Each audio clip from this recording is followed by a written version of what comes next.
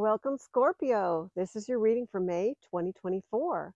So we're back on the island and I'm about to do this reading for you. But before we begin, I'm going to ask that we're surrounded by pure white light. And I'm going to ask to have your higher self come forth today to give you the information that you need to hear for your highest good and the highest good of everyone else concerned. Okay, and remember, this is your reading. So my signs and symbols Maybe I may say mean one thing, but for you it may mean something else. So remember, it's your reading.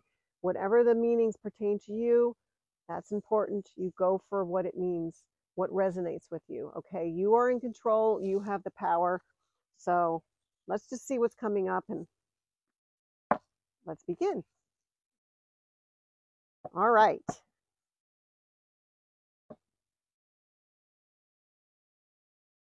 See what's going on for the month of May. Exciting month of May.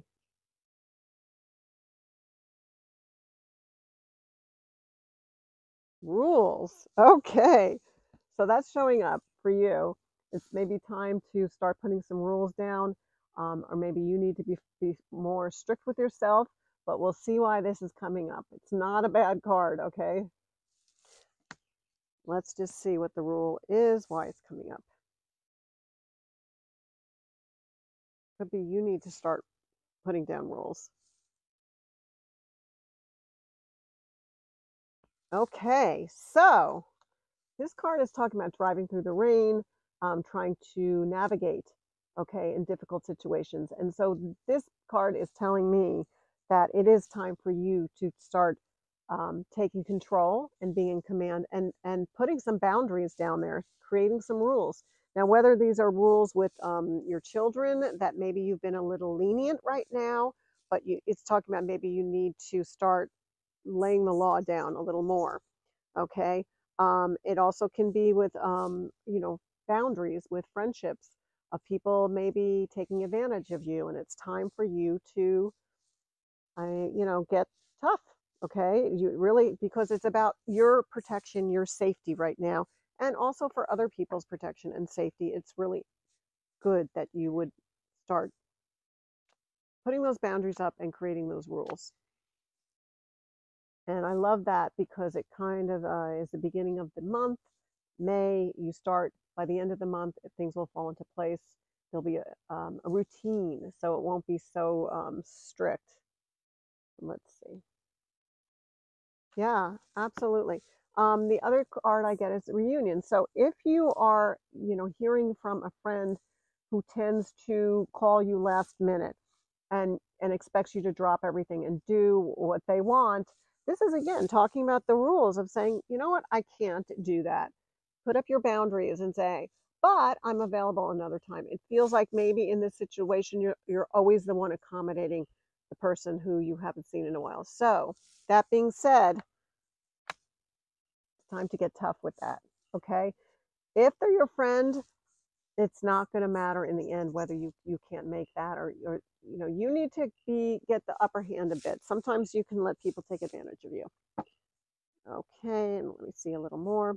And it, it also can be with family. It doesn't have to be a friend, but there is going to be some kind of, um, request to get together, reunion with somebody you haven't seen in a while, family or friend, and you really need to lay the, the, the, ground rules. You know, maybe it's going to be that they say it has to be your house. Well, you know what? Maybe it doesn't have to be at your house. Maybe it's time to navigate, you know, set those boundaries and say, no, it's not going to be at my house. Maybe we are going to go to a restaurant instead because you don't want to have to take care of everything like you always do. Yeah, reject. Okay. And there may be some fear of you feeling they're going to reject you if you put your foot down, lay the ground rules. But you got to start now, okay? Because this has been going on for a while. This is the, the long road. Okay, if you don't start, it's going to continue forever, okay? I mean, not forever, but I just mean it, you know, it's been going on for a while. So why not? They're not going to reject you it's it may be a little uncomfortable to have to do this, but in the long run, you're going to be so much more happier. You know, it's almost like when people say, "Oh, you know, the holidays, it's always going to be at your house," and you're like, "Why is it always my house? It needs to be at your house." Well, say that. It's time. No matter what. even if they get a little ornery about it. Yep. They're being very honest today. Okay, so this is the letter. This is the invitation. So now I'm telling you, it's time to lay down the rules about, you know, the invitation or whatever that that um, meeting is that you have to do with family or friends. That's all I'm saying. oh, well. Wow, wow. You have some. now, this can also be, again, with spouses too. It, you know, exes. If there was an ex relationship, okay, I'm going to also throw this out too. Now, for those of you, if this re, if you are offered a reunion with an ex, okay, and you're going to hear from them, okay, there, I just want to say this now. There is a reason why they were your ex, okay, and pertaining to that, they hurt you once. Okay. This card is betray. They hurt you once. So what does that mean? You don't go back for a second time. This is a card saying wave goodbye. So if you do hear from an ex who is trying to get the reunion again, you can meet with them. You decide where the meeting place is, but chances are this is not going to be the best solution for you. Again, you have free will. You don't have to listen to this. This may mean something different to you. You know, uh, you could see this as you're waving hello to them, but I see it as you should be waving goodbye to them. Again, and also, in, in, I'm just going to put that out there. So we have, you know, a lot going on here. Very blunt messages for sure.